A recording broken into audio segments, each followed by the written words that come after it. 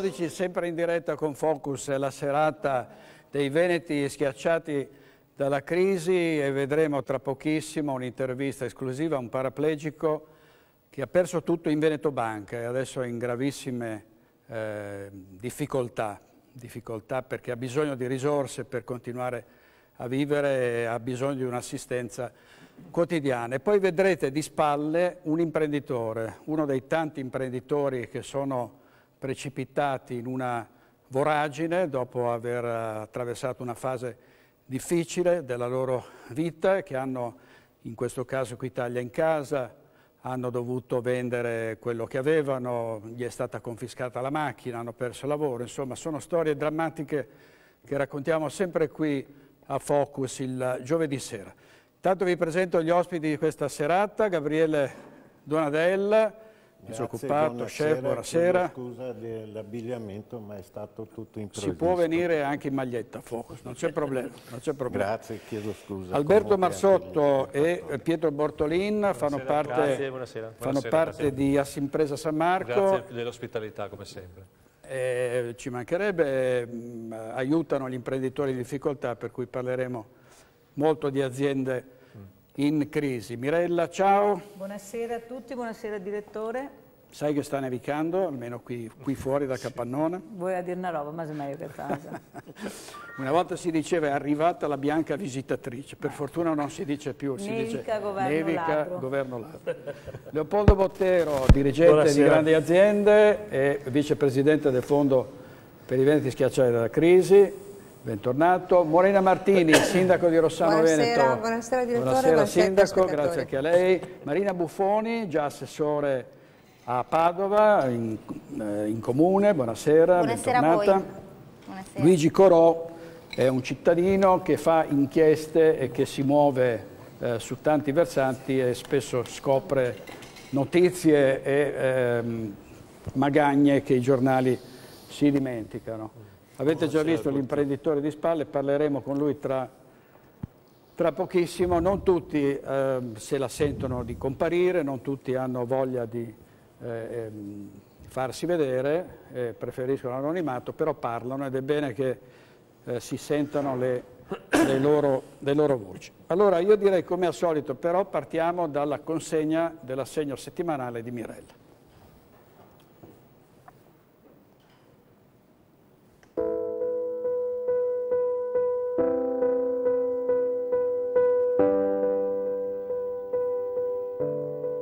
Ciao grande famiglia di Rete Veneta, oggi siamo al Banco Solidale e facciamo un'altra sorpresa grazie al vostro aiuto a un uomo che è molto ammalato, ma tanto, tanto. Ed è una persona, guardate, incredibile, proprio bravo. È un nostro veneto e io adesso ve lo presento che è qua. Eccolo qua. Si chiama Dino. Allora Dino, da tanti anni tu vieni al Banco Solidale. E cosa è successo nella tua vita che ci sei in queste condizioni? Nel 1994 mi hanno trovato un tumore in trachea. Dopo sono sempre tirato avanti. Nel due anni fa mi hanno trovato un altro nel polmone. Mi hanno preso un pezzo di polmone. A dopo un anno un altro nella vescica e dopo un altro nel collo. Che pensione hai? 445 euro. 445 euro. E non ce la fai a vivere. Bisogna viva. Allora, io mi sono sentita in dovere e so che ho il vostro consenso, il vostro aiuto di aiutare Dino perché non può vivere con questi soldi, deve anche curarsi, anche se certe medicine gliele passano, però non si può vivere in queste condizioni con 445 euro. Lui ha anche una famiglia, allora Dino guarda, la grande famiglia di Rete Veneta ha deciso di darti un aiuto, un, un piccolo sospiro e respiro di sollievo. Ecco, questo è l'assegno ecco qua, della grande famiglia di Rete Veneta, che ti aiuterà a pagare qualcosina, a stare un po' più sereno e io sono convinta che qualcosa succederà, qualcosa succederà. Così sono ridotti i nostri veneti. Cosa vuoi dire? Meno sei gradi adesso. Io ringrazio tutti, sono molto felice e non so dire. Non devi dire niente altro. Il ringraziamento è più che sufficiente perché loro capiscono e sanno che i loro soldi vanno a finire bene perché aiutano delle persone in forte difficoltà. Ciao grande famiglia di Rete Veneto, vi saluto perché qui fuori fa proprio tanto tanto freddo, anche dentro ma anche qua fuori, ma soprattutto è il cuore di Mirella che è molto gelato nel vedere queste situazioni. Vorrei che i politici si rendessero conto di come vivono i nostri veneti, è una vergogna. Ciao!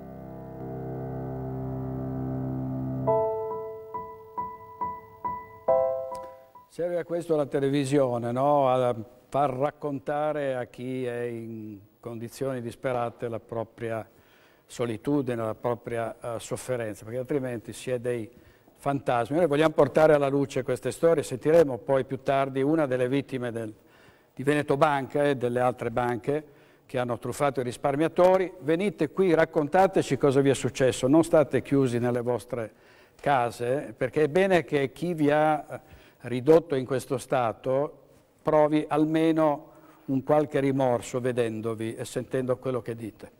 Allora, ehm, vi dicevo di un imprenditore che ehm, è qui in studio con noi, preferisce non mostrarsi in volto e, e io lo invito comunque a raccontare la, la, sua storia perché è quella che accomuna tanti titolari di azienda, partite IVA, artigiani, insomma imprenditori che non ce l'hanno fatta e che si trovano in situazioni eh, terribili. Allora, ehm, ci racconti pure la sua storia.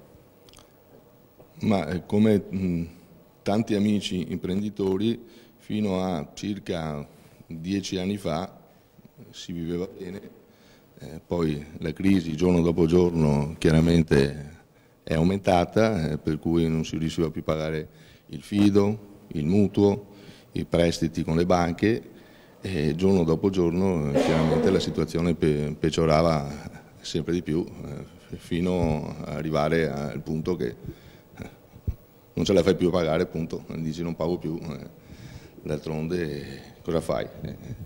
Uno che ha famiglia pensa prima ai figli, la prima cosa che anche con gli amici si parlava, io prima penso ai figli, do da mangiare a loro e poi se avanza pago quello che devo pagare, solo che la situazione eh, sta degenerando giorno dopo giorno. Ecco, senta, quanti, quanti figli ha?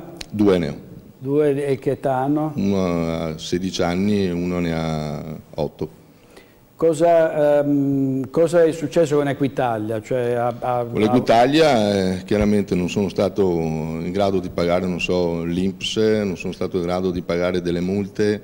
eh, adesso tu- tu- sto facendo chiaramente grazie anche all'associazione eh, Assimpresa San Marco che mi stanno aiutando e tramite un amico che mi ha presentato eh, queste persone eh, mi hanno detto guarda fermati, eh, ne parliamo e vediamo, vediamo cosa si, si può fare. ecco, a, a quanto ammonta il debito con...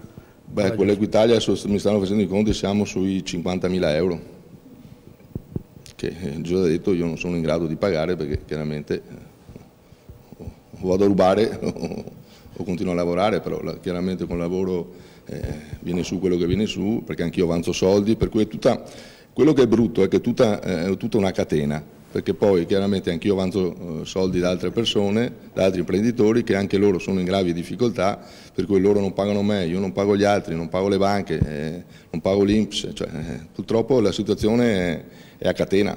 Eh, Certo.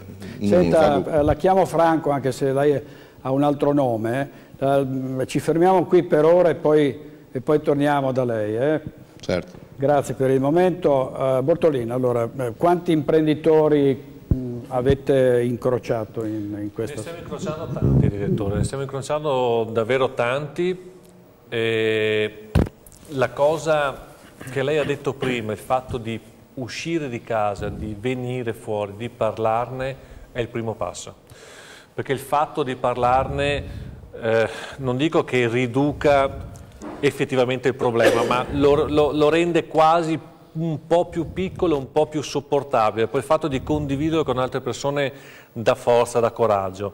E quindi l'appello che noi facciamo ogni volta, eh, ogni volta che troviamo delle persone, parlateci, chiamateci, ehm, anche soltanto per ascoltare perché purtroppo manca tantissimo l'ascolto. A queste persone, soprattutto noi veneti, siamo un po' muli, lo dico sempre, ma quasi con, con una vena di orgoglio, ci chiudiamo dentro i nostri problemi e non domandiamo una mano a nessuno, anzi spesso non coinvolgiamo neanche direttamente la famiglia.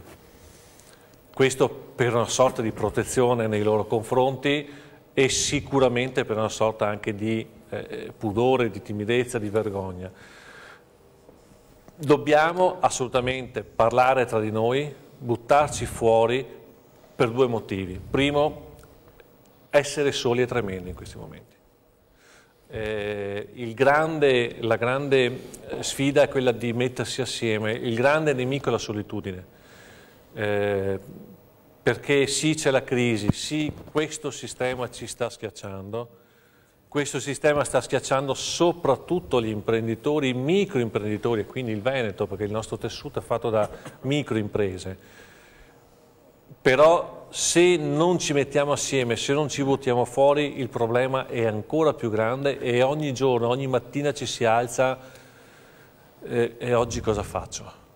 E questo, questo è, è- è tremendo, mentre se al mattino mi alzo, ok, eh, chiamo quella persona, l'ho conosciuta due giorni fa, magari non mi dà una soluzione, ma mi ascolta, è già un qualcosa che dà una mano. Poi ci sono degli strumenti, ma non ne parlo io, ne parlerà poi eventualmente l'amico Alberto Barsotto, che legalmente ci danno la possibilità di difenderci dall'aggressione di questo sistema e soprattutto dal fatto che è cosa, un è stato innescato un meccanismo per il quale o ne esci con un colpo di reni mettendoti assieme ad altre persone, oppure vai sempre più sotto perché poi fai un decreto ingiuntivo, avanzi dei soldi. Adesso l'amico avanza tanti soldi ha delle cause aperte, ma quanto dura una causa?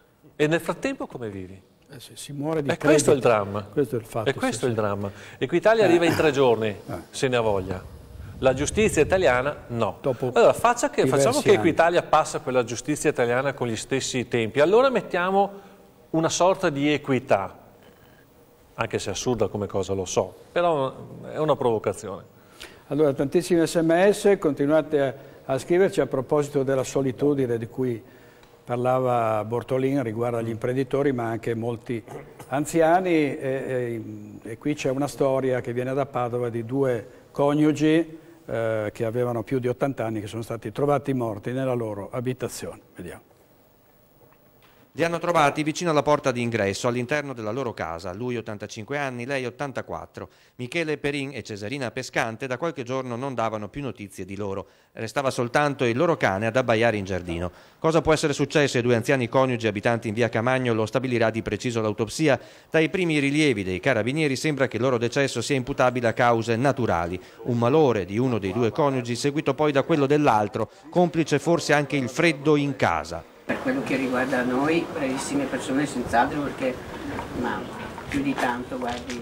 I due sono stati trovati al piano terra della loro abitazione che si trova in una via dove gli storici abitanti arcellani si conoscono tutti, increduli i vicini. Ah, non li ho sentiti, ho detto, beh, a volte non rispondevano subito. Ma di cosa sono morti? Li conosceva? Di vista, di vista, vista, perché veniva qua ogni tanto quando aveva bisogno di fare la spesa, ma dopo non- di più ne so. Disperati la figlia degli signori Perin e il nipote che ancora non sanno darsi pace per quello che è successo ai due anziani. Servizio di Guido Barbato. Allora Mirella, tu ne hai viste tantissime di queste coppie, di queste Purtroppo. situazioni. eh? E il- purtroppo il problema è che il vicino si accorge sempre troppo tardi, non si capisce il perché, però poveretti eh, sono soli, Eh, là è il problema grande. Vedete anche la figlia, però arrivano sempre dopo. Invece questi anziani, eh, quando sono così soli con una certa età, i familiari o chi per essi dovrebbero far visita tutti i giorni, due o tre volte al giorno. Se non sono in grado loro, devono mandare qualcuno, perché questi anziani sono a rischio. Non si sa di cosa, ma sono a rischio. Allora, siccome che abbiamo ormai ogni anno, ogni mese, ogni inverno queste situazioni drammatiche, io invito veramente tutti i familiari, se non riescono loro per motivi di lavoro, per motivi familiari, di mandare qualche vicino con le chiavi, qualcuno a controllare queste situazioni, perché queste cose sono inaudite, sono inaudite perché nessuno si preoccupa. E quanti anziani abbiamo in queste condizioni? Quanti ce ne sono nelle case che non vedono figli da tanto tempo, che non vedono nessuno? Metti anche che sono bruschi loro, di carattere, quello che vuoi. Ma vanno monitorati. È una vita che chiede un censimento degli anziani per vedere come vivono, dove vivono e chi hanno vicino, ma nessuno lo fa. Nessuno lo fa e ogni anno ci ritroviamo in queste situazioni, ogni mese, ogni estate, non c'è solo l'inverno, c'è anche l'estate. Eppure succede, tutti e due sono, da cosa sono morti? Da cosa sono morti? Però sono morti tutti e due. Eh, non ne vai fuori. Finché non ci rendiamo conto che diventeremo tutti così e che abbiamo bisogno di assistenza giornaliera, non ne andiamo fuori. Non c'è niente inutile andare, parliamo solo di aria fritta. E allora continuiamo con queste situazioni drammatiche, mi fanno fa- togliere il fiato sta roba qua. Perché io poi li vedo quando vengono al banco solidale e dico dove vai? A casa. Chi hai? Nessuno. Quando ci vediamo la prossima settimana, allora gli do il numero dei servizi sociali, gli do il numero del vice sindaco, chiama il mio numero, chiamami se hai bisogno, chiamami, ti prego. Non hanno, ci sono persone anziane che non hanno nessuno e i servizi sociali non sanno che esistono. Spiegatemi voi com'è questa situazione. Questa è la verità però che ve la posso garantire. Se in Italia ci fosse la guerra e i profughi andassero con i barconi in Africa, come verrebbero accolti nei paesi islamici? C'è un uomo che aveva investito quanto aveva ricevuto dall'assicurazione dopo un gravissimo incidente eh, occorsogli nel 2001 in Veneto Banca. Purtroppo ha perso tutto e adesso è tetraplegico e non può ovviamente pagare l'assistenza di cui ha bisogno. Lo ha eh, intervistato la nostra collega Tiziana Bolognani. Daniele è uno dei risparmiatori truffati di Veneto Banca, 53 anni di Ponte di Piave, è tetraplegico ma non dalla nascita, bensì dal 2001 dopo un grave incidente stradale. Io necessito di assistenza continua perché non riesco sia da, dai bisogni essenziali come bere un bicchiere d'acqua che a quelli fisiologici ed è un'assistenza molto costosa. Ma i soldi non ci sono, quelli ottenuti dal risarcimento dell'incidente li ha persi tutti in Veneto una Banca. Buona, io ho perso una buona parte dei, dei, dei, miei risparmi, la parte più consistente dei miei risparmi. Eh, erano stati investiti in azioni perché praticamente era l'unica forma di investimento che eh, Veneto Banca proponeva. Una storia la sua che suscita commozione e rabbia, con Daniele che giudica un'offesa al misero ristoro proposto dalle banche. Ritengo che la proposta che ci ha fatto Veneto Banca sia irrisoria, ecco, eh, perché un 15% a ristoro di quello che abbiamo perso è quasi eh, l'elargizione di una, di una carità. Carità elargita oltretutto in un groviglio di note e troppa poca chiarezza, in ben 26 pagine, soggiunge. Quindi non è un'offerta transattiva chiaramente comprensibile.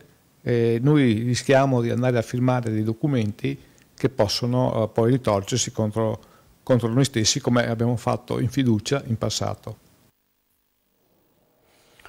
Poi sentiremo ancora una parte di questa intervista di Tiziana eh, Bolognani.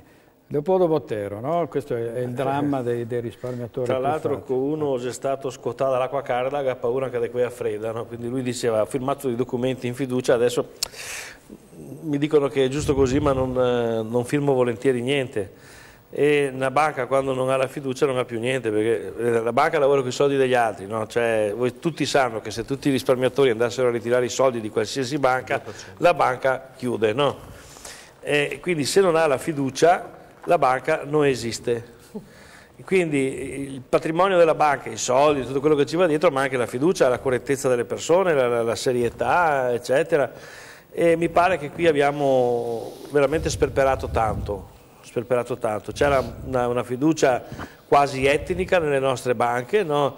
tutti avevano quattro azioni della banca locale e adesso uno dice ma, ma è meglio Paribas, la Deutsche Bank che poi alla fine è la stessa cosa. Eh. Eh, direi che c'è un, un, problema di fondo, sentivo dei dibattiti in questi giorni alla radio perché ero in giro per il mondo. Eh, l'economia, l'economia con un eccesso di liberismo, cos'è che, che, succede? Se non ci sono le regole, l'economia è come la, la, la, caccia, cioè il leone mangia tutti, no? cioè quello più grosso mangia tutti, adesso lo vediamo anche negli affari di bosca che ci sono in Italia. Eh, vanno fatte delle regole per regolare l'economia e soprattutto deve essere chiaro che l'investitore eh, che crede di aver investito eh, una certa cosa deve essere salvaguardato oppure gli va detto subito guarda che tu non stai investendo in buoni dello Stato, stai investendo in un capitale di rischio, magari ti va anche tanto bene, magari no. E mancano queste regole qua io, oh, come si dice, che ogni tanto vado in banca no, e, e, faccio una, un investimento di un fondo e se firma il MIFID, no, 60 pagine, io onestamente mi sono messo una volta a leggerla e, e quello della banca che diceva che noi chiudiamo poi a una certa ora, no, però dico 60 pagine per capire eh, cosa sta succedendo, ma vi assicuro che io me ne intendo di queste cose qua. Capito fin là insomma quello che, che, che volevano dire, ho capito fin là, cioè, io, direi, se io mi fido, c'è un fondo eh, serio, è serio, questo fondo dimmelo te, insomma è come quando uno una volta andava a bottega, adesso ai supermercati è diverso, andava a bottega e diceva me dà formaio de queo bon, si fidava del, del, commerciante che diceva se bon, ti dico mi, eh, in caso in. Adesso uno va in banca, una volta andava al banchiere che tutto sommato è un compaesano, dice roba buona, sì sì sì, fa, azioni buonissime e dopo invece eh, aveva il peo per dentro. E cosa bisogna fare? Abbiamo un'economia che va a rotoli anche, abbiamo sentito, per mancanza di, eh, di liquidità. Abbiamo ancora chi ha dei risparmi, mi piacerebbe poter mettere qualche risparmio in fondi che lavorassero con l'imprenditoria locale sono stanco di, che mi si propongono i fondi Far East, Cina, eh, Messico, l'America, tutti questi paesi qua bellissimi, e con fondo nord-est, io l'ho proposto, mi ricordo, alle banche dieci anni fa, in un periodo che ho fatto l'assessore ho scritto ma perché non fate un fondo nord-est? Cioè i nostri imprenditori che hanno bisogno di soldi, no? fino a un certo punto possono reggere il prestito, poi hanno bisogno di, di, di capitale di rischio, fate un, un bond, come si dice, uh, o capitale di rischio, una SG, una società come volete, ma investito qui. E devo dire che nessuna delle banche, neanche quelle cooperative, ha fatto questa operazione qua, che mi risulti. Eh. Sto sentendo dei rumors adesso, voglio informarmi eh, meglio, ma non ho visto nessuna proposta che dice questi soldi vengono investiti nel nord-est nelle aziende del nord-est, che non sarebbe una cattiva idea, anche dal punto di vista di trattenere qua i soldi, perché io sapete sono indipendentista, quindi sono per trattenere qua i 21 miliardi che mai non fa. Però anche il, il risparmio si potrebbe trattenere qua con degli strumenti di questo tipo. Allora, ehm, 30% della popolazione sulla soglia di povertà, un dato eh, davvero spaventoso, aumentano no, i poveri. L'8% è nella povertà sì. e non è in grado di eh, procurarsi il cibo. Sono 5 milioni più o meno, no? E poi eh, a Bassano, ovviamente, anche nel bassanese, eh, aumentano i poveri. Sentiamo cosa dice eh, un assistente sociale. Sono soprattutto famiglie italiane che vengono seguite dai, dai servizi sociali Identikit dei nuovi poveri. Non bisogna andare a cercarli in giro per il mondo, no perché abitano qui, sono in mezzo a noi, siamo noi. In dieci anni l'indigenza assoluta in Italia è più che raddoppiata e il Veneto non fa eccezione. A Bassano, uno dei fulcri dell'economia, del business, del commercio del nord-est, sempre più famiglie si rivolgono ai servizi sociali persone che sono, dire, eh, che, che sono, nel territorio, vivono nel territorio da sempre e che purtroppo a causa della crisi economica escono da una situazione di benessere o comunque eh, che gli permetteva di arrivare a fine mese tranquillamente e si trovano in una dimensione in cui veramente non sanno dove girarsi per arrivare a, eh, ad assolvere agli, alle incombenze economiche quotidiane. I nuovi poveri hanno la faccia degli italiani, dei giovani, dei disoccupati. Il welfare sembra poco adatto a rispondere alle nuove forme di difficoltà economica, anche perché solo una piccola parte della spesa sociale viene destinata alle vittime della crisi. Insomma, mentre l'orchestra della politica sul Titanic suona il violino della ripresa, il paese intanto, a quanto pare, affonda. Allora, se fino a qualche anno fa si parlava di persone che potevano essere seguite per alcuni mesi, possiamo passare anche un paio d'anni, ecco, comunque per un tempo limitato, a meno che non fossero situazioni effettivamente fragili, con problematiche che andassero oltre la questione economica, adesso sappiamo le persone che vengono da noi, ma finché non trovano un lavoro sappiamo che saranno appoggiate a noi, quindi non sappiamo fino a quando dovremo sostenerle. Non si vede la fine del tunnel? Non si vede la fine del tunnel per il momento. Intervista di Carlo Alberto Inghilleri, sindaco. Eh, I sindaci sono in prima linea e vedono davanti ai loro uffici spesso famiglie, eh, uomini e donne che chiedono un aiuto. No? Ma eh, quello che dice la collega, l'assessore ai servizi sociali del comune di Bassano, è in, in, succede purtroppo in tutti i comuni, ma eh, basta guardare il banco dove opera eh, l'associazione di Mirella e di Leopoldo per capire che non ci sono solo gli extracomunitari che vanno al banco alimentare e ehm, io ricordo una decina d'anni fa eh, prestavo il mio servizio in uh, Croce Rossa e eh, in Croce Rossa una sezione della Croce Rossa si occupava e si occupa tuttora eh, di aiutare con un, assegno, con un piccolo assegno alimentare le famiglie in crisi, già allora cominciavano ad arrivare moltissime famiglie italiane. Il problema è quello legato giustamente al lavoro, fin tanto che non c'è un lavoro, uno stipendio fisso che entra in casa, eh, mangiare si deve mangiare, le bollette si devono pagare, quindi la porta a cui si bussa è quella del sindaco o dei centri di assistenza. Eh, la Caritas, eh, il Comune, eh, la Croce Rossa, eh, associazioni di volontariato, associazioni che possono in qualche modo eh, portare un attimo di conforto eh, non è solo il problema degli extracomunitari, paradossalmente eh, quelli che dovevano tornare, cioè tantissimi, non tan- non tutti quelli che vorremmo, però insomma una grossa parte è tornata ai paesi d'origine, è capitato anche da noi a Rossano, quattro famiglie sono tornate ai paesi d'origine, ma nel momento in cui sono qua da tanti anni, hanno i figli che hanno iniziato le scuole qua e fanno fatica poi a tornare a casa. Il problema di quelli che sono arrivati adesso, che è un problema che sembra che nessuno voglia risolvere, ma eh, lo stato di necessità delle nuove famiglie italiane, la nuova povertà esiste. Io volevo dire due cose no, riguardo anche soprattutto Prego. alle banche, vede Prego. direttore, quando una donna fa mh, meretricio del proprio corpo, no, lo vende alle strade o negli appartamenti, viene chiamata prostituta. Allora, qui i bancari, no, i banchieri, dobbiamo chiamarli con il loro nome, sono stati dei ladri, dei ladri, ma dei ladri senza vergogna. Io, da, lei lo sa, sfondo una porta aperta. Prima di tutto non ci sono banche migliori delle altre, tutte le banche sono uguali e le banche vendono soldi.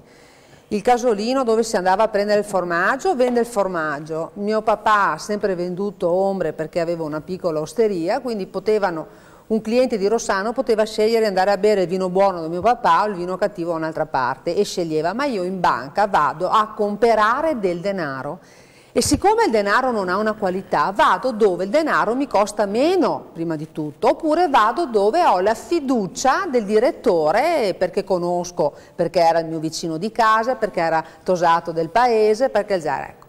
Ecco. Eh, teniamo anche conto di un'altra cosa, perché io ce l'ho ancora a morte con chi dice che i politici fanno parte della casta. Io vengo eletta dai cittadini che scelgono se eleggere me o eleggere un altro. Tra l'altro io ho anche faticato, sono stata eletta dopo tre volte, quindi oh, ce l'ho avuta dura no? prima di diventare sindaco, quindi nessuno può dirmi niente. Il 90% di chi lavora in banca è un raccomandato. Allora mi devono dire anche, mi devono dire anche perché è il figlio di eh, se molte, tanti figli di, di, direttori, io vorrei vedere quanti figli di direttori di banca lavorano in banca, quanti figli di hanno trovato il posto in banca. Magari adesso c'è un po' di, ma, ma, magari adesso c'è un po' di vergogna, però fino a pochi anni fa per entrare in banca dovevi essere raccomandato, quindi non mi dite niente, non fermatemi mai perché la mia più grande soddisfazione sarà un giorno. Naturalmente poi, perché so che c'è un signore di Rossano che mi segue che ha la figlia che lavora in banca, che invece è lì perché è stata brava, ha vinto i concorsi, ma un 10%, diciamo che sappiamo, ma il 90% è così. Eh, io, vorrei, io vorrei, la proposta che faccio io ai direttori, ai mega, il CDA di Gestema è questa, io vorrei che voi trattaste i vostri clienti, sia quelli che hanno i soldi, che non ve li lasciano perché vi lasciano i soldi, ma non è che ma soprattutto quelli che hanno i debiti con voi, che i debiti eh, vengono pagati il 100% di quello che voi prestate, un mutuo di 200 mila euro, quanto, in 20 anni quanto glielo pago? Gli do 80 mila euro in più se a me va bene? Dipende. Dipende, sì. ecco, quindi io ve li pago, quindi i soldi li prendete da chi i soldi non ce li ha. Io vorrei che voi trattaste i vostri clienti come siete trattati voi dalla vostra banca, alle stesse condizioni che avete voi, perché uno che lavora in banca, allo sportello, a, ecco, ha delle condizioni sicuramente diverse dalle mie. E perché io che sono il tuo cliente devo essere trattato peggio di te? Uno, due. Questi qua della banca popolare, eh, io per fortuna non ho azioni, sono una donna fortunata che sono povera. Non ho azioni né nelle banche attuali, quelle che sono, né nella popolare di Vicenza, neanche in Veneto Banca.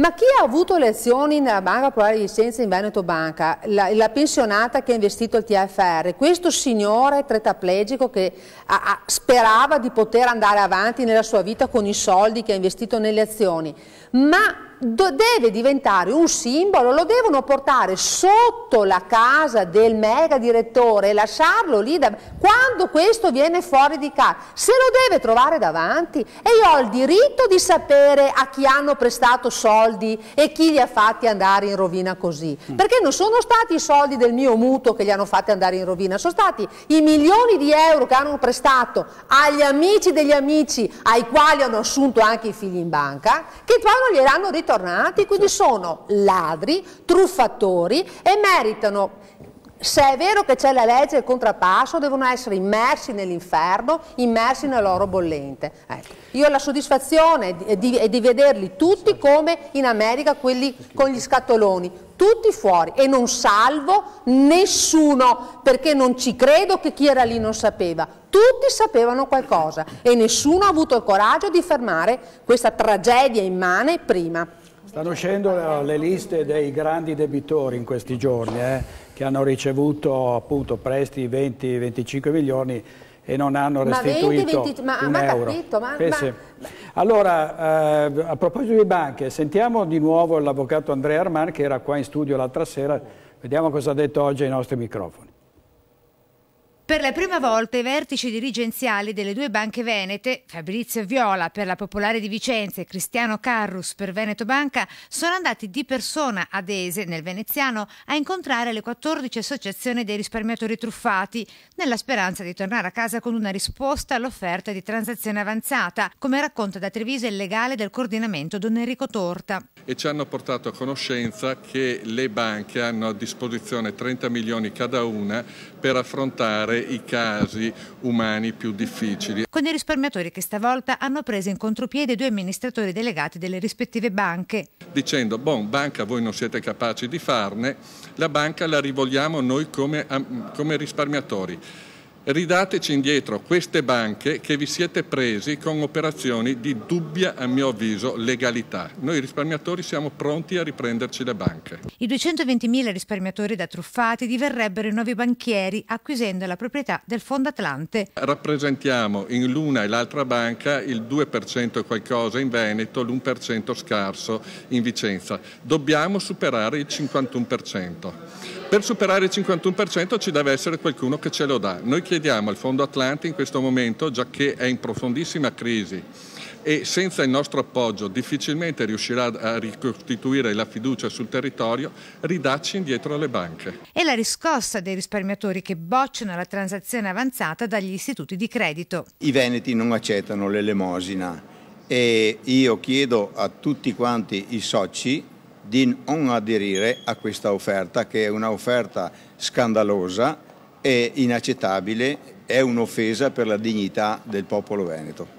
Interviste di Anna Maria Parisi. Allora torniamo da Franco, l'imprenditore che è qui in studio, che ci racconta la sua storia, una catena di disavventure, di errori, di, di problemi che l'ha portato uh, sull'astrico. Adesso eh, deve a Equitalia 50.000 euro. Senta Franco, allora con le banche che rapporto ha avuto? Eh, che cosa è successo con le banche? Con le banche credo come, come tutti ho un mutuo, avevo mh, di fidi bancari per l'attività eh, che chiaramente oggi in questo momento eh, no, non sto pagando perché chiaramente ho delle difficoltà enormi. Ho fatto anche una battuta e voglio anche così un po' eh, perché per carattere io vedo sempre il bicchiere mezzo pieno, mai quello vuoto, mezzo vuoto, eh, gli ho detto al direttore della banca, guarda, il mio mutuo, visto che ormai il Monte Paschi di Siena ne ha combinato di tutti i colori, fatelo pagare da, eh, da loro. Lui mi ha guardato, si è messo a ridere, ho detto, stai scherzando? No, no, ho detto, perché tanto qui non, non c'è più niente da fare, per cui fatelo pagare da loro.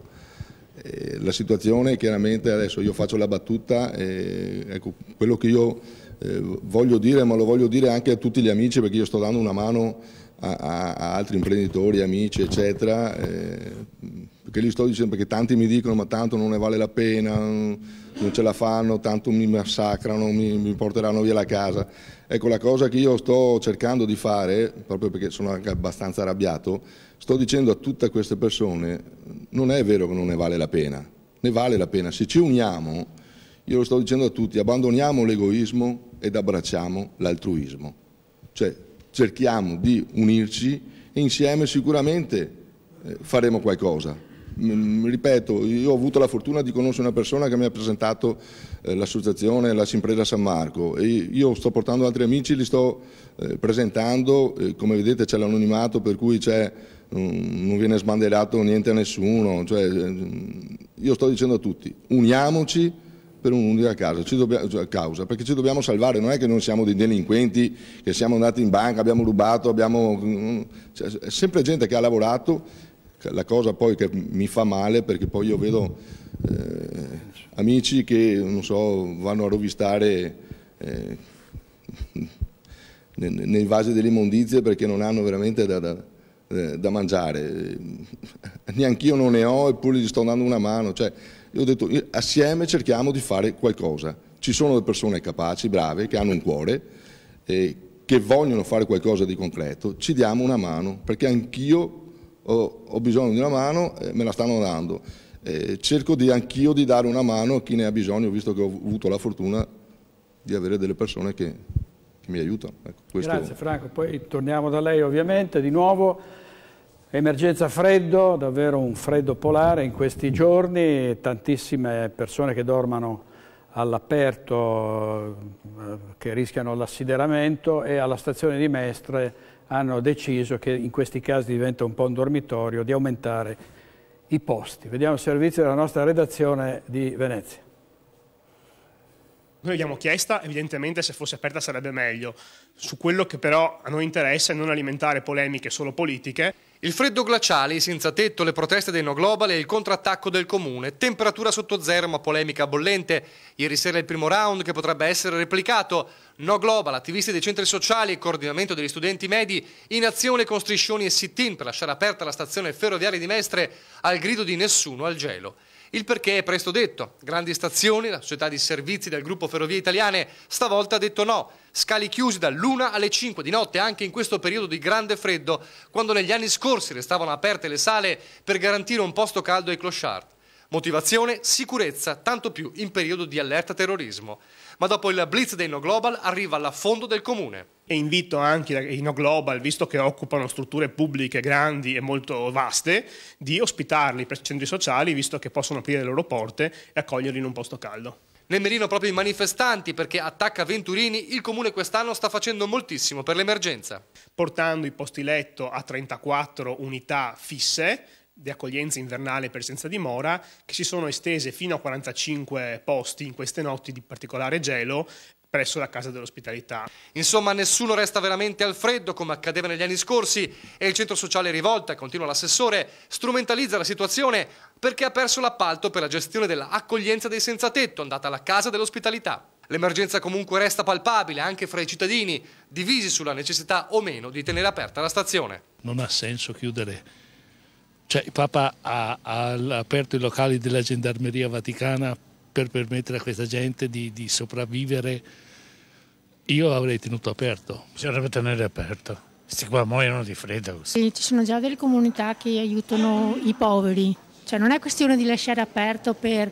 Non bisogna dargli un'opportunità di vivere dignitosamente, dormire dignitosamente, anche a questa gente. Intorno alla zona della stazione è, un, è diventato invivibile. Ecco. Fanno bene, secondo me. Anche se in questo caso significa lasciare fuori senza tetto? Beh, potranno metterli da qualche parte eventualmente. Servizio di Nicola Zanetti, Mirella. Eh? Il buon senso dei cittadini si dimostra, avete sentito cosa hanno detto? Apriamo, accogliamoli, mettiamoli al caldo. Questo vuole il cittadino, il cittadino non vuole vedere, anche se è un barbone, vederlo al freddo, fuori a morire dal freddo. Io porto i coperte qui se morti, cioè non mi capito, eh e, e questi stai porterà i piumini in quest'estate, cioè e, e, e, e stalle mobili dopo che animali muore, cioè che avevamo tutto e non avevamo niente. Cioè dopo, sempre dopo, cioè, ma, ma cosa sia sta roba? Cioè si sa che viene l'inverno, che andiamo sotto zero, tanto, poco, ma si sa. No, non c'è emergenza, cioè non ne frega niente degli ultimi. Gli ultimi gada a morire tutti, specialmente poi senza tetto, barboni, tutto, se chi muore chi se ne frega. Cioè i treni in Italia non vuol tenere verto, occhio che salta per aria. E dopo che abbiamo i terroristi che scorassa da, da, da un stato all'altro ma chi va a Remengo? Senti, Maria, tu l'hai sempre detto dell'emergenza freddo, no? È ma sempre... l'emergenza ma va eh? fatta a settembre l'emergenza freddo, non va fatta a gennaio. Le stalle mobili esiste da quanto? Le porta quando? Quando che sono morti gli animali che non te arrivi neanche a fare stalle mobili da neve e gelo che sono strade impraticabili. Ma non vedete che ci stanno prendendo non dico perché non posso, Mirella, Mirella. Per i fondelli. Ecco, bravo direttore, come le voglio bene direttore, per i fondelli. Ci stanno prendendo per i fondelli. E il problema è chi sono soldi nostri. Cioè, tra in Italia, chi è che viene pagata? Chi si sta messa là? Eh, ma, ma era, eh, robe da pazzi, vita sta gente, questi anziani che mo e sarà scelta anche di vita, ma come si fa a vedere morire una persona dal freddo nel 2017 con quello che abbiamo? Ma dai, no. Gabriele Donadella abita a Zelarino, conosce anche così le zone in cui c'è disagio, sì. degrado? Purtroppo io giro i quartieri, alle volte in bicicletta, alle volte con il pullman, e mi ha colpito fortemente, credo ieri l'altro sera alla tv, quando ho visto Alessandro, un disabile, che con 280 euro lui è obbligato a vivere in macchina, non mi ricordo il paese dove vive, credo verso la Lombardia ma, o verso Rovigo, adesso non mi ricordo. Quando vediamo, no, queste persone che arrivano perché dicono che, sono, che scappano dalla guerra, però vediamo solamente gente di vent'anni che sta meglio di noi fisicamente, dopo materialmente questo non lo, po non lo posso sapere. Però allo stesso tempo abbiamo avuto un governo per anni, ed è stato credo il peggiore dal dopoguerra, che ha pensato solo per queste persone, mentre gli italiani, abbiamo visto anche a Nola, no, non c'è buttati per terra sul pavimento con le coperte perché non c'è il letto, non c'è la branda. Fortunatamente la ministra si è svegliato e ha detto no, ma loro sono bravi medici e paramedici, ma la colpa è sua di lei, perché è lei la responsabile e io glielo dico per l'ennesima volta, se ne deve andare a casa questa signora, perché è un incapace sulla sanità, sta facendo solo l'interesse delle lobby, delle farmaceutiche e di altro. Ma per il popolo, questa signora Lorenzin è stata messa là da letta, se non vado errato. Oltretutto non è neanche laureata in medicina o altro, non ha master, non ha nulla. Ma che cosa fa lì questa signora? Ha distrutto la sanità, perché qua stiamo pagando tutto. Dice, eh, Zaia dice che abbiamo la sanità migliore in, in tutta Italia. Io credo che non sia mica poi tanto così la, la voce della sanità in Italia nel Veneto, perché io sto vedendo che stiamo pagando tutto e se vuoi una visita devi aspettare dagli 8 ai 12, ai 15, ai 18 mesi. Però non dicono che se uno ha bisogno di una, di una visita e che sono passati 60 giorni può andare da qualsiasi eh, privato e fare quello che è necessario di fare e paga solo il ticket. Questo non lo dicono. Però arrivano questi signori che hanno tutto. Allora Alessandro vive in macchina da tre o quattro mesi. Io questo non lo trovo veramente disgustevole, lo trovo, direttore. Ma secondo lei questi banchieri hanno rimorso? Non credo, Mirko da Villaverla. Eh, rimorso, sti qua? No, non, penso anch'io che non, non, provino grandi rimorsi, però almeno che vedano, no? che vedano quello che hanno combinato. Ma hanno già cambiato canale. Eh, che vedano in faccia che hanno... Io penso che hanno forse, già cambiato canale. Hanno cambiato canale, eh, forse dall'estero ci possono vedere in streaming. Eh? Allora, ehm, prima di andare dall'assessore ehm, Marina Buffoni, l'ex assessore, vediamo ancora un, un brano dell'intervista al, al, paraplegico che non può pagarsi l'assistenza perché ha, ha, investito tutto in Veneto Banca e ha perso, e ha perso tutto. Vediamo un'intervista esclusiva di Tiziana Bolognani. Daniele, lei ha avuto una bruttissima esperienza con Veneto Banca ed è un'esperienza che l'ha segnata. Sì, eh, la genesi di tutto questo eh, risale al 2001 quando io ho fatto un grave incidente stradale che mi ha reso eh, tetraplegico, ovvero completamente paralizzato dal collo in giù, quindi io necessito di assistenza continua perché non riesco sia da, dai bisogni essenziali come bere un bicchiere d'acqua che a quelli fisiologici ed è un'assistenza molto costosa.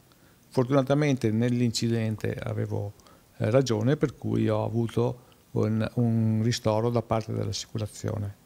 Eh, ristoro che io ho eh, depositato in Veneto Banca come, come, qualunque altro risparmiatore in quanto era la banca eh, del territorio, era la, la banca che eh, diciamo in quel momento dava maggiori sicurezze, perlomeno a livello est esteriore dava le maggiori sicurezze. Che cosa è successo? A un certo punto uh, la, i vertici della banca eh, hanno cominciato probabilmente a operare in maniera eh, scorretta e anzi ormai è appurato che hanno fatto delle operazioni che eh, erano scorrette e non erano legali e la banca ha cominciato a andare male. Noi mh, non siamo stati avvisati di tutto questo, nonostante le varie ispezioni e i controlli che la banca subiva, ci veniva detto che eh, tutto era a posto, tutto era in ordine, i conti erano, eh, la banca era solida finanziariamente e invece poi siamo arrivati all'epilogo finale eh, dove visto, dove i risultati si sono visti. Io ho perso una buona parte de, de, de, dei miei risparmi, la parte più consistente dei miei risparmi. Erano stati investiti in azioni perché praticamente era l'unica forma di investimento che eh, Veneto Banca proponeva, proponeva come la forma di investimento più conveniente e più sicura ed essendo una banca cooperativa, la banca del territorio, noi ci credevamo. Ecco, adesso eh, Veneto Banca con Banca Popolare di Vicenza hanno prospettato, presentato questa proposta di indennizzo ai, ai propri soci e dentro due mesi uno deve dichiarare la propria adesione. Lei che cosa intende fare? Ma innanzitutto io ritengo che la proposta che ci ha fatto Veneto Banca sia irrisoria, ecco, eh, perché un 15% a ristoro di quello che abbiamo perso è quasi eh, l'elargizione di una, di una carità. Eh, io mi sono anche rivolto ad un legale, eh, assieme a molte altre persone, che assiste anche molte altre persone come me, e vedremo come comportarci. La cosa che più comunque è, è, la cosa che più salta all'occhio è che eh, Veneto Banca per eh, offrirci questa transazione eh, ce la offre attraverso un eh, regolamento di 26 pagine, quindi non è un'offerta transattiva chiaramente comprensibile, noi rischiamo di andare a firmare dei documenti che possono eh, poi ritorcersi contro, contro noi stessi come abbiamo fatto in fiducia in passato. Quindi lei in questo momento si fida, si è affidato al suo avvocato, al suo legale e, eh, e entro questi due mesi eh, insieme dovrete decidere quali sono i passi da fare. Sì, eh, effettivamente noi decideremo insieme i passi che, che sono da fare. Eh, il fatto stesso che la banca voglia che vi aderisca all'80% secondo noi è, è, è, una, è una scelta che va un po' contro quello che può essere la continuità eh, stessa della banca, cioè sembra quasi che si voglia ripulire la banca per poi magari rivenderla a chissà quale altro grosso gruppo, quindi perdere anche eh, la banca del territorio, oltre ai, risparmi perderemo anche il valore che aveva la banca del territorio. E su quel eh, risarcimento dell'assicurazione a seguito dell'incidente eh, contava evidentemente? Sì, eh, quel risarcimento, come ho detto io, ho bisogno di assistenza continua, quindi eh, il, la mia vita costa, costa eh, ogni giorno io ho un certo costo, assistermi a un certo costo e io contavo su quel risarcimento anche per poter continuare ad avere eh, una qualità di vita discreta anche per gli anni che mi mancano. Grazie molte a Daniele Furlan, intervistato a Ponte di Piave da Tiziana Bolognani. Assessore, a Padova, eh, se vuole anche... A Padova, come, a Padova come in altre città, credo che in questo momento la difesa eh, del cittadino eh, la difesa sociale del cittadino, la tutela dei non tutelati sia il tema al quale il governo in primis e le amministrazioni locali Mi scusi, c'è un problema col microfono per cui le ridò la parola Dicevo tra, che, tra pochissimo. dicevo che in questo momento No, dobbiamo, dobbiamo fermarci perché non la si sente. No, no. Torniamo, adesso glielo sistemiamo, glielo sistemiamo. Allora, andiamo dal, dal dottor Marsotto del, di Assimpresa San Marco, abbiamo sentito prima Bortolin. Il Presidente e anche l'imprenditore che si è proposto di lasciare la sua importante testimonianza. E, mm, vede Direttore, mm, tante volte, per non dire sempre, fondamentalmente il Veneto di carattere è, un, è, è orgoglioso, no? non, deve, non deve mettere sul piatto magari anche di un'associazione in massima riservatezza, di un professionista, di un pool di professionisti, i propri problemi. Per cui fondamentalmente eh, a scapito di, di, di non andare a raccontare magari quelle che è una sfortuna nella vita, è andata male l'impresa, gli ha dato alle spalle il lavoro, è successa una disgrazia familiare o di salute, per cui da una situazione abbastanza discreta o, buona in cui poteva navigare economicamente si è trovato nel baratro. E questo ovviamente di queste cose il fisco, l'Equitalia, l'Agenzia Entrate, le banche stesse non è che eh, abbiano un aspetto sentimentale, una spera di ritrosia nell'agire, vanno, anzi ne approfittano, perché i- la situazione dell'impresa decotta o il privato eh, che si trova in difficoltà è, è un pesciolino molto appetibile, molto meglio di quelli che si sanno difendere e che si sanno ovviamente barcamenare. Allora l'appello che io eh, come consigliere e componente di Assimpresa eh, a ruota mi, mi unisco al, al nostro caro Presidente Bortolini è quello veramente di fare aggregazione, di fare rete. Questa legge che anche il telespettatore indica, ehm, qual è sostanzialmente? Cioè, è una legge che, ha- che compie qua in gennaio compie il primo lustro di età, quindi non è proprio, eh, non è vecchissima ma neanche proprio recente. E parlando con colleghi anche della vicina Lombardia, eccetera, veramente c'è una ritrosia, c'è una, un'essere istia ad applicare questa legge, intanto perché sa comporta un certo sacrificio di ritorno, non economico, del far sue carte, di andare in cerca, però io l'appello che dico ai nostri amici veneti, ma non solo, anche a tutti eh, gli imprenditori i consumatori privati in difficoltà, Facciamoci uno sforzo di, prendere, di perdere due o tre giorni, una settimana, dieci giorni, ma questo può salvarci veramente la barca, eh, la camicia.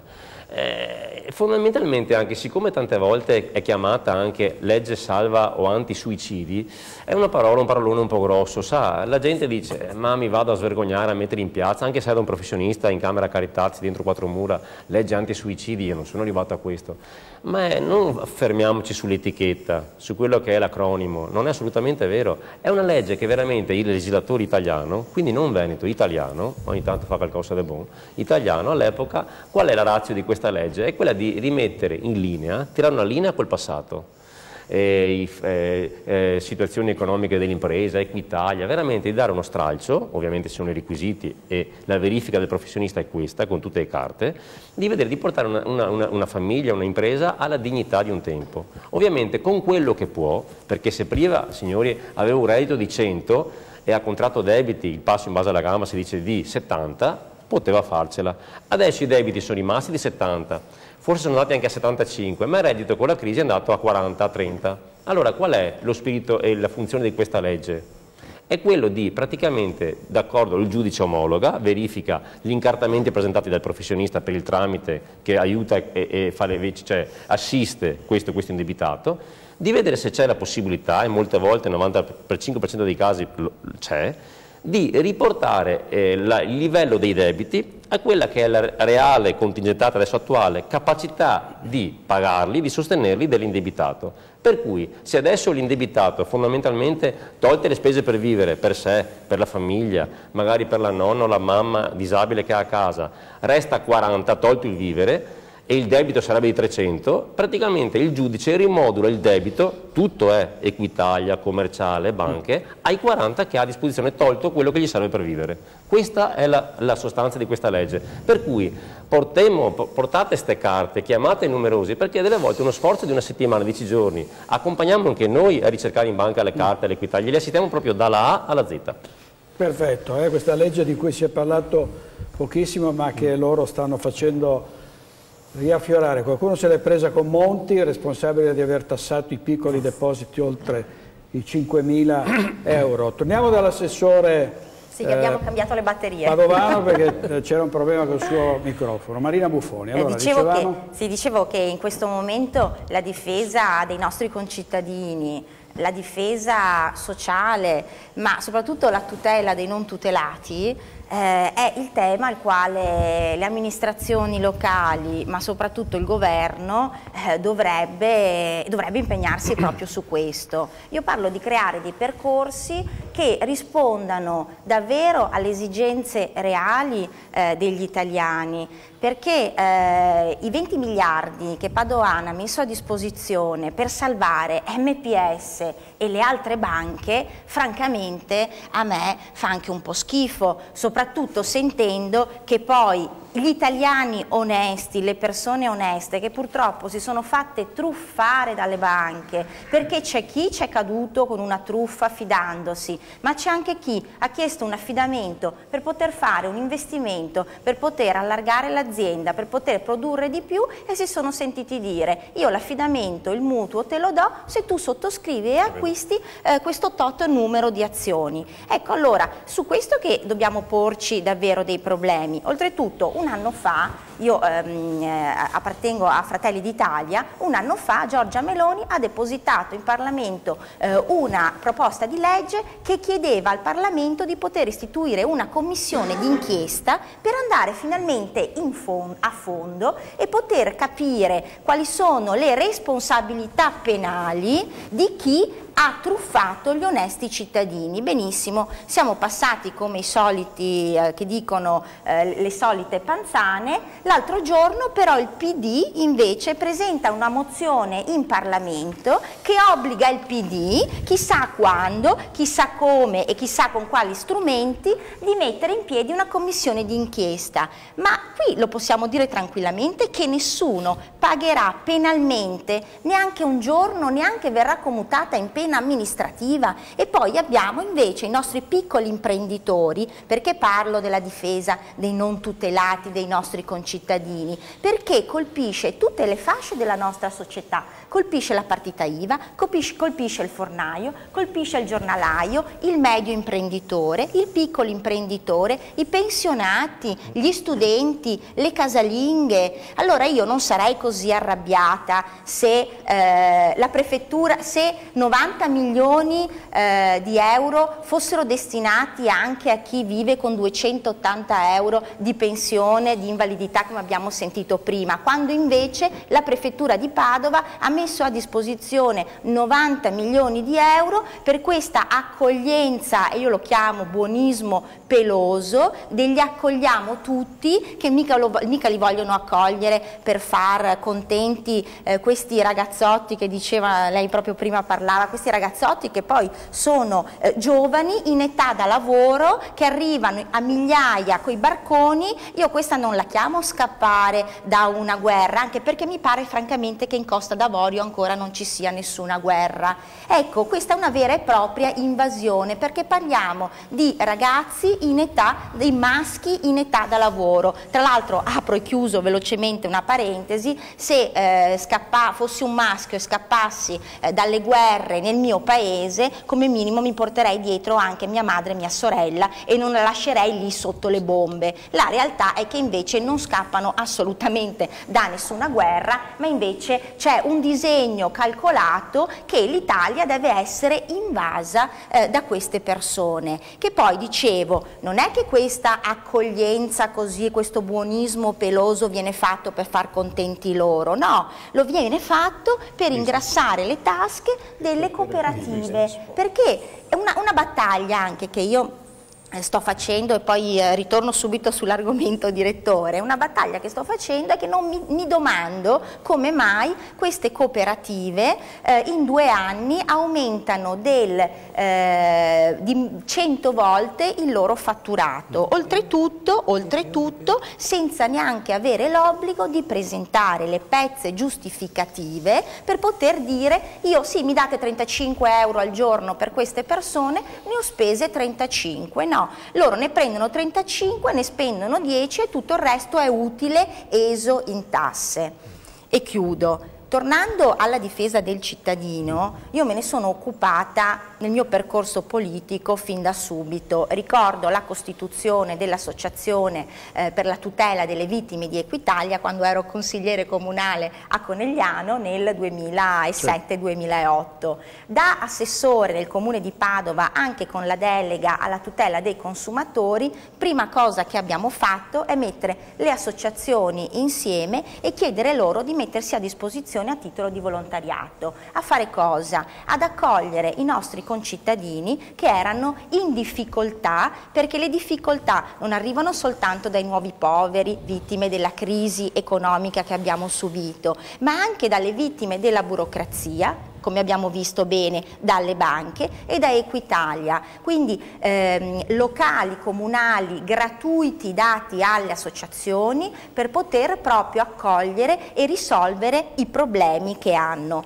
4.000 ore, 4.000 ore di eh, accoglienza ai nostri concittadini abbiamo fatto in poco più di un anno e mezzo. Se, lascia, se qualcuno ci lasciava finire il mandato avremmo potuto risolvere molti più problemi, molti più problemi dei nostri concittadini. Ricordiamo che l'assessore Buffoni faceva parte sulla della tutela, sulla tutela dei consumatori tutte le amministrazioni dovrebbero essere obbligate a mettere a disposizione a titolo gratuito degli spazi per risolvere i problemi davvero di centinaia e centinaia di nostri concittadini. Allora, grazie. Problemi dall'Italia, ti ritrovi ancora a Montezemolo, ha distrutto la Ferrari, il treno Italo ed è anche in Teleton dove gli italiani danno soldi, va, va cacciato via. Ieri sera abbiamo parlato a lungo dello scontro tra i, migranti, tra i migranti, tra i sindaci e i prefetti che vogliono l'accoglienza diffusa per eh, i migranti e eh, vediamo eh, questo servizio dalla ex base militare di Cona dove come sapete c'era stata la rivolta dei, mh, di coloro che sono in questa base. Vediamo. Voglia di verità e chiarezza, ma anche volontà di ricordare una ragazza morta nel tentativo di inseguire il sogno di una vita diversa. A dieci giorni dalla morte che ha scatenato la rivolta di Kona, il volto di Sandrine Bakayoko rappresenta un messaggio ancora forte impresso sul tema caldissimo dell'emergenza profughi. E mentre proprio a Kona il 19 e 20 gennaio una commissione d'inchiesta parlamentare cercherà di capire situazioni e antefatti di quei giorni difficili, c'è un'indagine ancora aperta dalla Procura sulla scomparsa della 25enne. Chiarezza e verità le chiede il marito della giovane che ora può contare sull'aiuto di un avvocato. Lui vorrebbe capire perché una ragazza di 25 anni è morta in quella maniera. Poi per carità eh, può essere eh, che, che- che alla fine sia stato una- un episodio veramente, mh, come dire, inspiegabile, senza eh, precedenti. Insomma, nessun dito puntato, solo desiderio di sapere, visto che Sandrina aveva avuto problemi prima della sua morte. È stata accompagnata numerose volte ovviamente dai, eh, dagli operatori della, mh, del centro di prima accoglienza presso presidi os- ospedalieri per esami strumentali di cui lui non ha eh, i referti. Comunque vada, il marito vuole che almeno ora il sogno di Sandrine si avveri. Eh, vuole anche che sua moglie sia seppellita qui perché vuole rimanere in Italia e perché vuole, che, vuole poter continuare a- ad andare a trovarla. Nel frattempo sono due le manifestazioni programmate a Cona per ricordare la ragazza. La prima sabato, corteo organizzato dal sindacato di base USBA alle 14. La seconda domenica alle 14.30, un'idea del regista Andrea Segre, subito accolta dall'associazione Bassa Padovana Accoglie e che sta raccogliendo centinaia di adesioni da tutto il Veneto. Noi abbiamo dato concentramento a Conetta, a pochi centinaia di metri dalla base. e, mh, probabilmente ci sarà anche una presenza di una delegazione di richiedenti asilo. Insieme a loro faremo una carovana di auto e ci sposteremo sulle rive dell'Adige. In Golena sarà lanciato un fiore in acqua per chiedere scusa a Sandrine e ribadire la parola d'ordine riguardo a Cona e Bagnoli. Non possiamo girarci dall'altra parte, dobbiamo dire che queste strutture vanno chiuse e va appunto, ripeto, eh, costruito un percorso di accoglienza diffusa. Zanetti, allora stop alle truffe sull'IRPEF a danno degli italiani. È un'iniziativa del Comitato Marco Polo di cui è presidente Luigi Corò. Allora Corò, di cosa, di cosa si tratta? Stasera sono qua per denunciare una macroevasione ed è l'evasione di quegli stranieri dipendenti in Italia che riescono a recuperare, grazie ad organizzazioni ben strutturate, l'intero ammontare dell'IRPEF.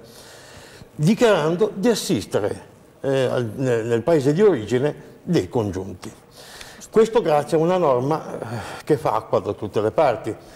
Eh, per, assurdo, per assurdo abbiamo eh, dei fratelli, almeno così, così li abbiamo conosciuti, che riescono ad assistere eh, rispettivamente i genitori, sia l'uno che l'altro che quell'altro ancora. Noi abbiamo presentato un esposto alla Guardia di Finanza dopo che abbiamo monitorato il fenomeno. A Mestre abbiamo una realtà che, che eh, diciamo, la presenza della- dei bengalesi. Beh, questi praticamente hanno messo le tende all- all'ufficio delle entrate, eh, so- sono tutti i giorni là a richiedere i codici fiscali e scientemente riescono, almeno così mi si dice, a presentare, a presentare la documentazione per riavere l'anno successivo tutto l'IRP. Io credo che sia ora di farla finita. Cosa significa avere il rimborso dell'IRP? Significa non partecipare alle spese. Dell'IRPEF, eh, rimborso dell'IRPEF. Dell'IRPEF, sì. Quindi significa non partecipare alle spese sebbene se ne goda e significa gravare quindi su tutti gli altri. Io credo sia ora di farla finita. Non possiamo eh, continuare ad assistere eh, eh, i, co- i congiunti del paese di origine, bisogna cambiare la norma. Soprattutto se in quel paese non c'è un'anagrafe.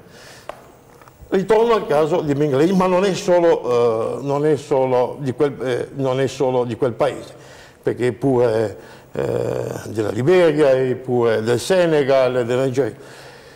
Non avendo un'anagrafe, loro si limitano in pratica a fare un'autocertificazione presso, presso, presso il proprio consolato, questo viene poi eh, in qualche modo certificato, viene eh, passato al, al prefetto di turno, il quale non può fare altro che autenticare la firma eh, del, del console e di conseguenza in automatico il, rimborso, il rimborso deve avvenire. Un assurdo, un assurdo.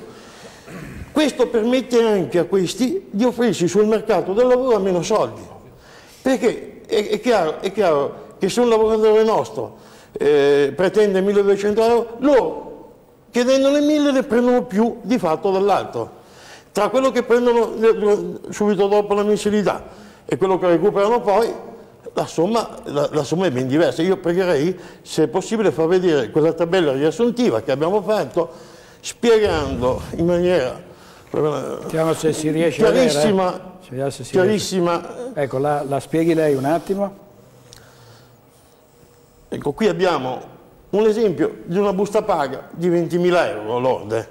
Noi vediamo, vediamo quanto, quanto il, il- il cittadino extracomunitario, ovviamente quello che, che non assiste di fatto eh, i propri congiunti nel paese di origine, riesce a portarsi a casa l'anno successivo. Cioè 3.400. Altra cosa, altra falla della legge. Ahimè, il calcolo per decidere se un congiunto è da assistere o meno è legato alla, no- alla- alla nostra qualità della vita. Cosa significa?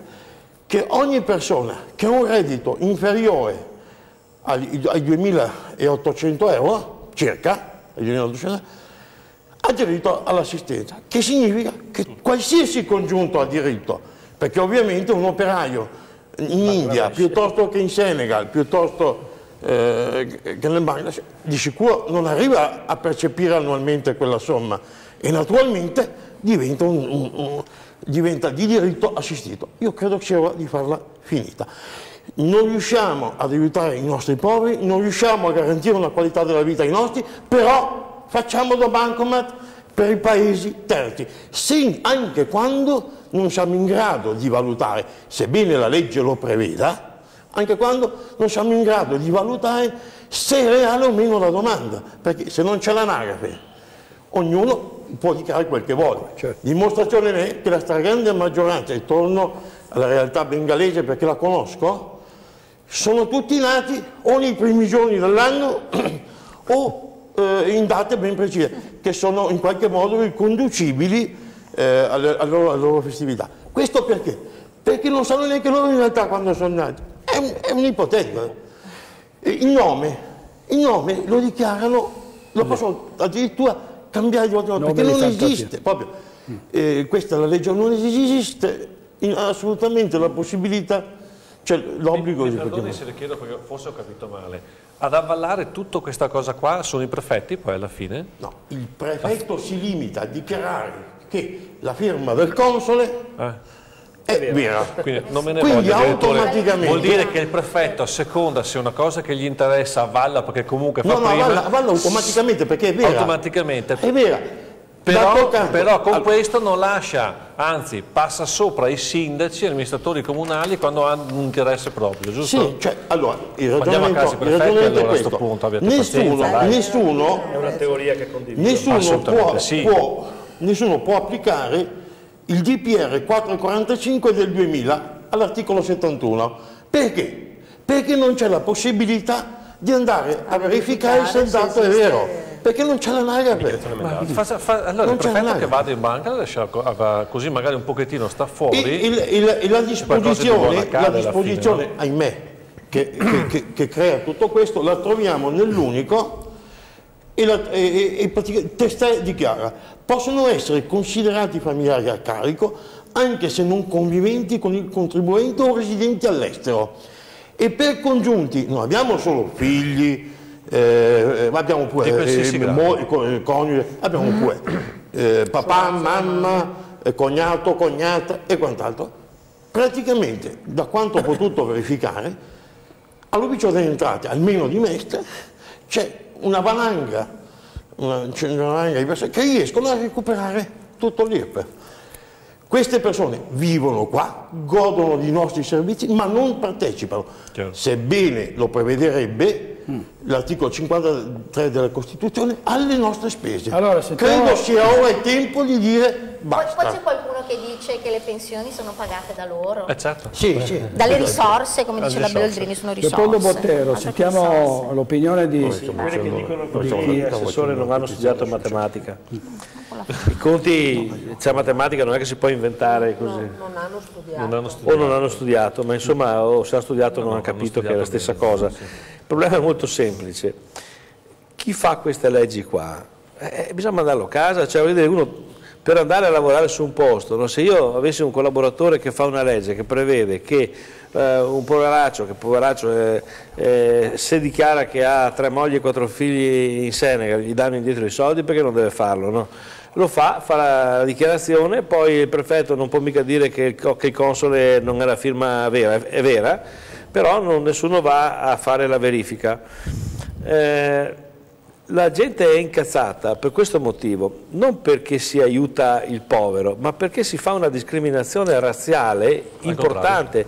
Se uno non è arrivato a quel barcone non è tutelato. Ora, quando la in stazione fa caldo, io non voglio sapere se è giusto o se è sbagliato. Se fuori fa meno 10 e in stazione è caldo, si apre. E non si guarda se hanno diritto o se non hanno diritto, perché la vita umana è sacra, primo.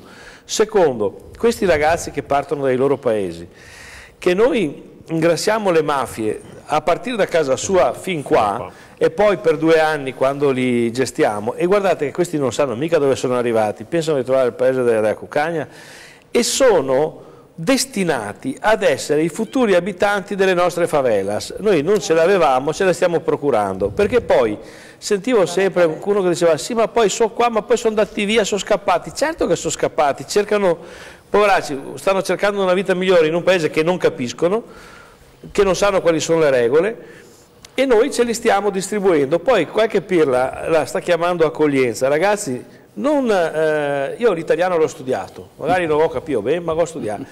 Accoglienza si applica a chi si vuole accogliere.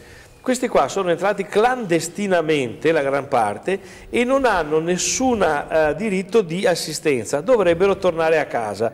Se voi andate come turista nel loro paese e non avete i soldi per mantenervi in albergo, state in- nel- nell'aeroporto e tornate col primo volo a carico della compagnia aerea che vi ha portato. no? Allora questi qua vanno mandati a casa loro per il loro bene perché altrimenti le donne sono destinate a stare qui a fare le prostitute e i ragazzi a spacciare o a fare altre cose, perché poi a 20 anni uno in qualche maniera deve, deve sopravvivere.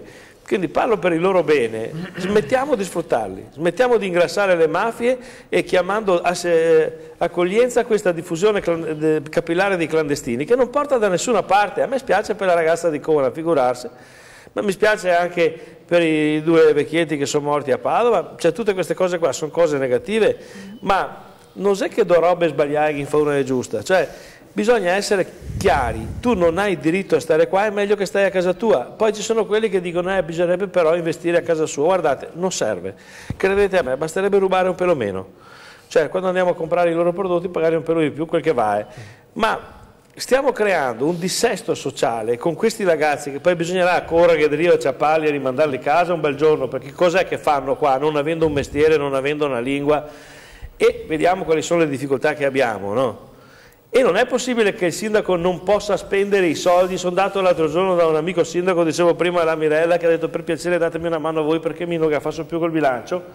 C'è una signora che ne aveva bisogno, ho detto vabbè, e avevo ma gli ultimi soldi di fine anno e abbiamo aiutato questo caso. Non è bello perché io le tasse le pago eh, e tutti quelli che sono qua le pagano. E la prima spesa è quella per la coesione sociale. A me fa piacere quando vedo queste associazioni che con le loro specializzazioni fanno coesione sociale perché si viene fuori dalla crisi stando uniti, non abbandonando nessuno per strada, stando attenti ai vicini, stando attenti a che bisogno e dandosi una mano. Poi, poi... Fammi leggere questo sì. sms, adesso ti, li trovi con lo smartphone ultimo modello che chiedono l'elemosina fuori dai supermercati e da tutti i negozi sono tutti ben messi e noi veneti siamo senza lavoro. Sì, sì, ma poi è anche bella, è una fotografia. A, a Venezia poi uno scandalo, ma in altri, in altri posti. Allora, eh, eh, mendicare è proibito dalla legge, quindi non si dovrebbe fare.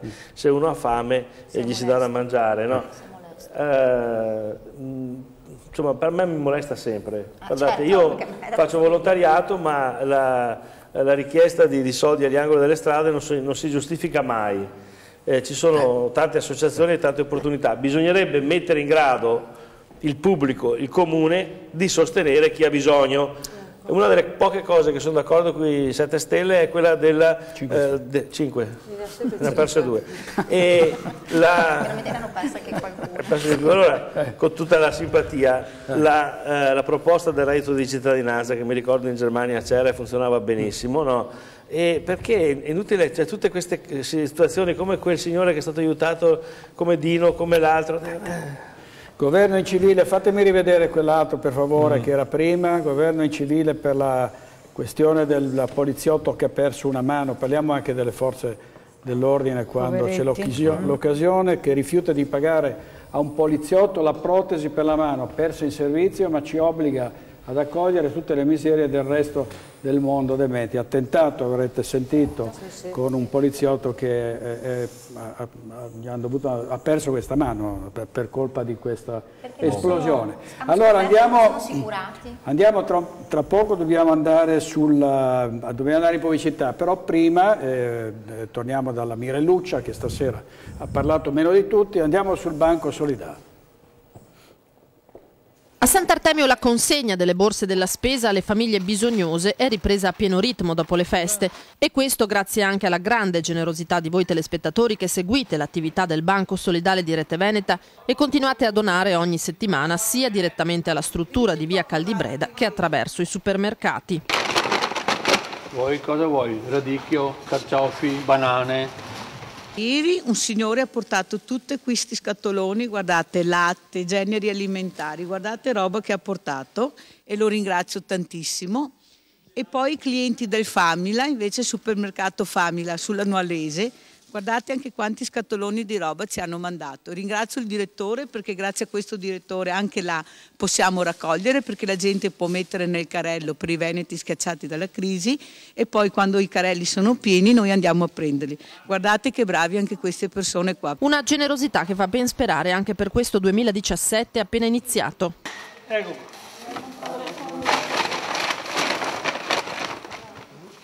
Perciò ringrazio tutti quanti della grande collaborazione e della grande solidarietà per aiutare questo banco solidale, ma soprattutto queste persone in grande, grande difficoltà.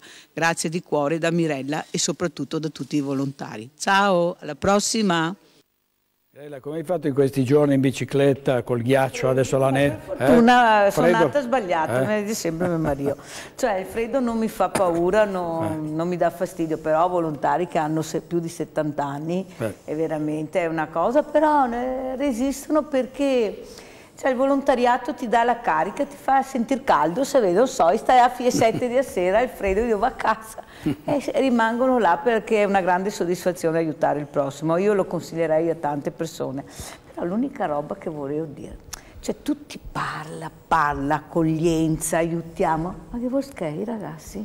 C'è questi imprenditori qua che hanno bisogno di skei?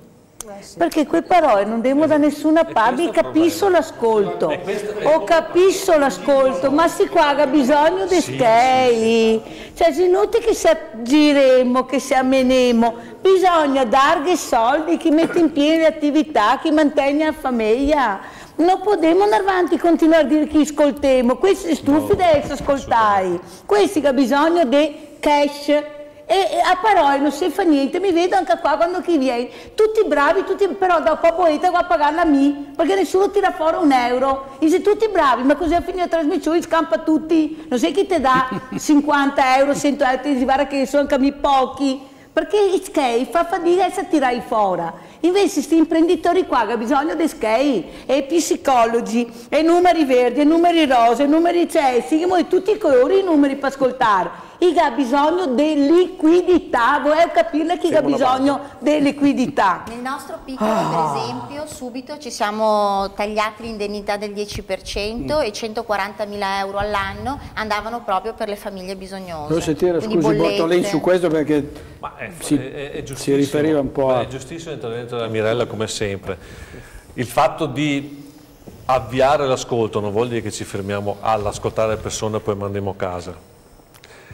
Ma siccome è la prima parte che poi porta ad unire le persone, comunque le tira fuori di casa, io parto col discorso non abbiate paura di chiamare o di parlare con noi, perché da lì poi parte tutto un progetto di Senta, Bortolin, assistenza. però ecco, è, mh, è sempre eh, nel mirino un po' l'associazione di categoria, no? che dicono anche gli iscritti, ma eh, per noi poi che cosa fa? No? Hanno perfettamente ragione. È, è una critica... eh? Eh, hanno perfettamente Giusta? ragione, Oh. ma in effetti la nostra associazione di categoria nasce proprio dall'esigenza di molti imprenditori di avere una alternativa a quelle che sono le associazioni classiche che oggi pur essendo anche piuttosto sovrastrutturati, infatti tanti sono abbastanza in crisi anche economica se vogliamo, ma non rispondono, non danno servizi a- ai propri associati. Noi stiamo- siamo stati anche un po' criticati dal nazionale per aver iniziato dai Veneti in crisi. Devo la Simpresa sincero. San Marco, no? La Simpresa San San Marco. Siamo stati un po' criticati perché sì, però voi non state facendo soci. Facciamo anche soci, perché assieme a questo che secondo me è un servizio eh, oggi di primaria importanza, quindi quello di cominciare a dare una mano alle persone che sono effettivamente in crisi, abbiamo tutta una quantità di servizi anche poi per le aziende che vogliono comunque crescere e che vogliono anche andare all'estero non a- ad aprire fabbriche ma a vendere sui mercati esteri. Quindi a essere competitivi perché abbiamo tutta una serie di servizi che poi magari una, una serata faremo anche proprio specifica sui servizi che diamo, che sono eh, tanti, sono moderni, eh, veloci e soprattutto molto eh, elastici ed efficaci proprio caso per caso. Eh, ne Benissimo. abbiamo tanti. Allora, Donadella, una battuta che poi dobbiamo andare in pubblicità. più che una battuta, Eh. ho letto un messaggio prima di un ragazzo, di una donna, di un non so, che diceva almeno moriamo con, speriamo di morire con dignità. Ecco, io vorrei dire a questa persona, non si deve morire con dignità, si deve vivere, sopravvivere con tutte le forze possibili con dignità. Perché non dobbiamo morire per quei quattro farabuti che stanno distruggendo la nazione, anzi è già distrutta la nazione. Neanche sopravvivere, vivere. Perché Perfetto. sopravvivere Scusate, dobbiamo andare in pubblicità e poi riprendiamo dal sindaco di Rossano Veneto, Morena Martini. State con noi a tra pochissimo, grazie, grazie molto.